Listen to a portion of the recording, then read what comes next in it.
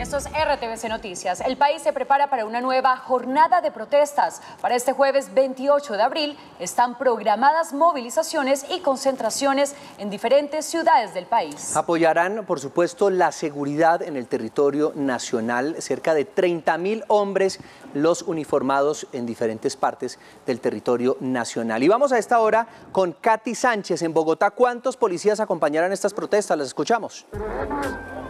Nah, 看下 Muy buenas tardes a usted y a todos los televidentes. Y es que serían cerca de 4.000 los policías los que estarían brindando seguridad en la capital del país en medio de las manifestaciones mañana 28 de abril, que como es usual, hay manifestaciones y protestas cada mes. Respecto al tema, también se han pronunciado las autoridades. Eh, han recomendado a la ciudadanía que eviten, los que van a estar en las protestas, que eviten eh, bloquear el sistema de transporte público y de esta manera, pues ahí es donde entra la policía para poder salvaguardar guardar y poder dar seguridad a los ciudadanos. Se lo contamos todo en esta nota.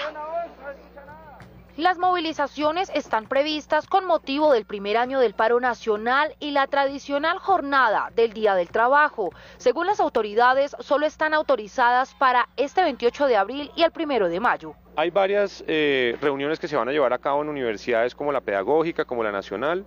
También hay unos eh, eventos que están previstos eh, en algunos parques y plazas públicas. En cuanto a la concentración, dicen las autoridades que habrá 30 sitios con presencia de manifestantes en localidades como Usme, Suba, Kennedy, Santa Fe, Chapinero y Usaquén. En sitios como el Parque Nacional, el Monumento de los Héroes y el Portal de las Américas también se tienen previstas aglomeraciones un equipo de más de 4.000 policías de distintas capacidades eh, que van a estar acompañando las distintas actividades eh, en el marco de la manifestación pública y pacífica. La jornada tendrá el acompañamiento de gestores de convivencia de la Secretaría de Gobierno y funcionarios de la Defensoría del Pueblo.